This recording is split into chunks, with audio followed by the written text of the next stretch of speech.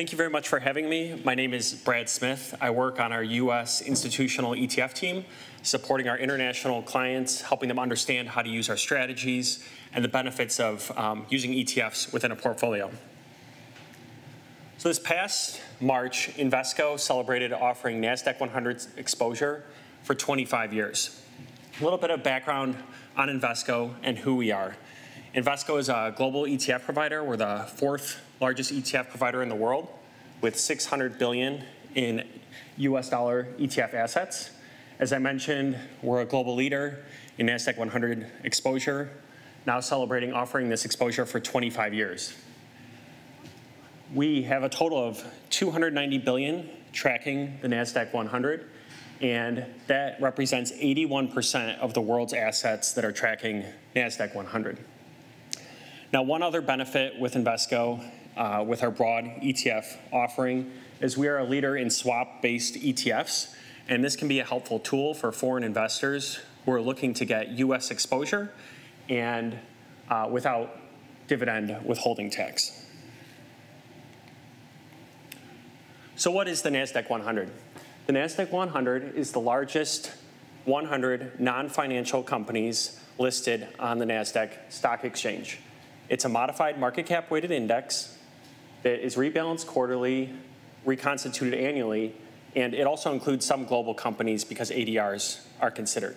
Now, maybe some examples of what is a NASDAQ 100 company. Some, some of the top holdings are Microsoft, Apple, you have Airbnb, T-Mobile, Google, Tesla, Meta, many large companies that you all probably recognize.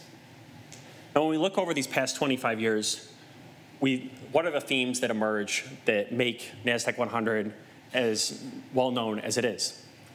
The first is innovation. The NASDAQ 100 over these 25 years has been known to offer exposure to some of the most disruptive companies in the US economy. These companies which I'll show later, are very committed to high R&D spend, which has helped make them as disruptive as they are. And then they've been good at taking that R&D spend and converting it into patents that are valuable and further driving earnings. And so some of the companies, as I mentioned, household names in the NASDAQ 100 uh, are like Microsoft, Apple, Amazon, NVIDIA. These have been in the NASDAQ 100 for over 20 years. Um, and part of the lure you might be asking is like, what has made it so innovative? So NASDAQ was the first electronic exchange in the US, so that was a breaking technology. And when many, when many of these companies were first considering where should they list, they saw that technology is very forward thinking and wanted to associate with that type of technology. So that brought many of the like Facebooks of the world to NASDAQ. And now when new companies are considering IPOing, they think, who do I want to be like when, when I grow up? And many of them find being like Meta or Google is something they aspire to. And so what we've seen in recent years is a lot of these new IPOs have chosen to go with NASDAQ over NYSE. The next trait of NASDAQ 100 is robust fundamentals.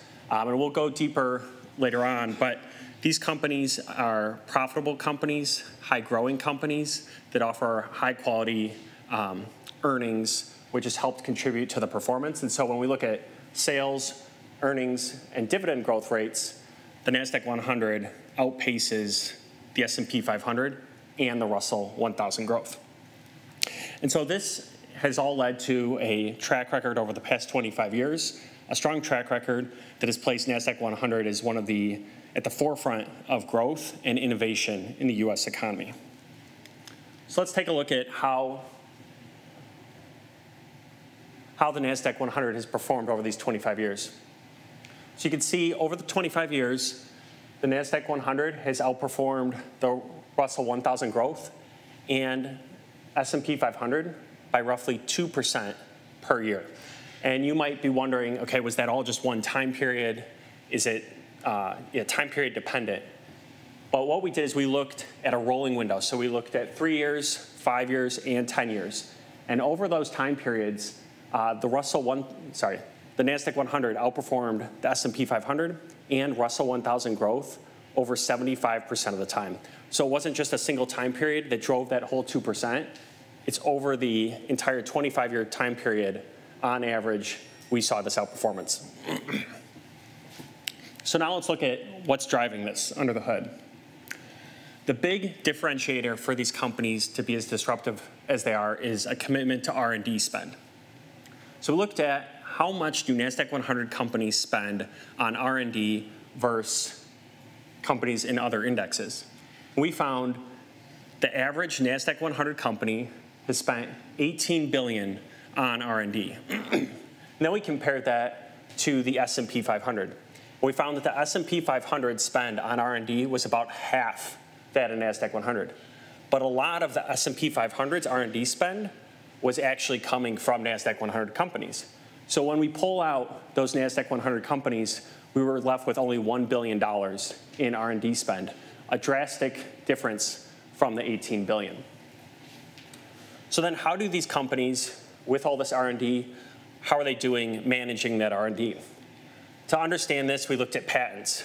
How do NASDAQ 100 companies do with taking the patents, taking the R&D that they've developed, and converting it into value? And so from 2007 to 2023, we saw NASDAQ 100 companies grew the value of their patents by 951%. And then to put that in reference, S&P 500 companies, they were about half that. But again, just the same as with the R&D, a lot of that S&P 500 uh, growth in patents was actually coming from NASDAQ 100 companies. So when we pull the NASDAQ 100 companies out, we were left with only one third of the growth of NASDAQ 100.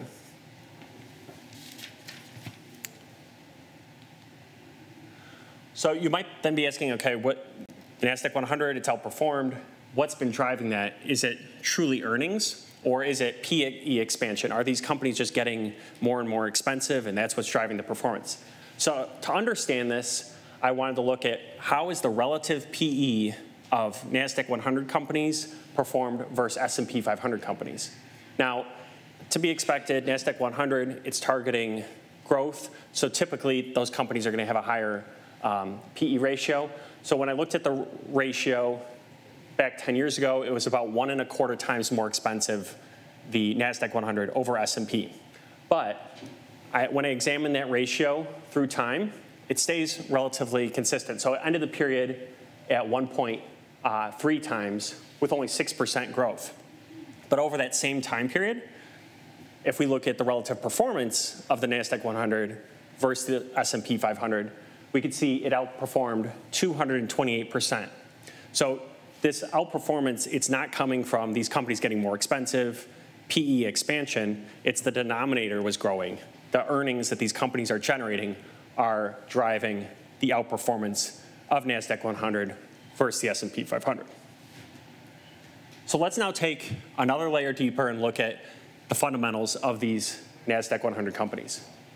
Uh, what I then looked at is if we look at these fundamental metrics of revenue, earnings, and dividends, how did those grow in the NASDAQ 100 versus the S&P 500 and Russell 1000 growth? And we can see that over that 10-year time period, the NASDAQ 100 significantly outgrew these other two benchmarks, S&P 500 and Russell 1000 growth. All three of the fundamental underlying metrics grew much higher.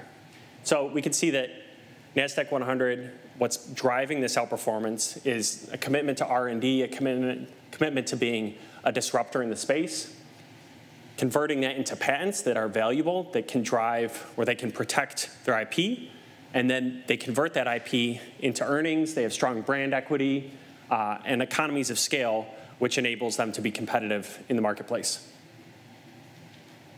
So you might now be wondering, okay, we looked at what it's done over the past 25 years, but what is the NASDAQ 100 doing today and how is it being disruptive? What themes that we've heard talked about today, what, what exposure does NASDAQ 100 have to those? and when we look at it, we can see many uh, disruptive themes NASDAQ 100 is offering. Uh, one of the big categories is AI, big data, robotics, metaverse, 5G. And the one thing that I like about NASDAQ 100 is you're not just going after a single theme. It's really hard to know, okay, what's the future? What's going to drive the next big innovation, the next big disruption in the world? And it's hard to make that call ahead of time.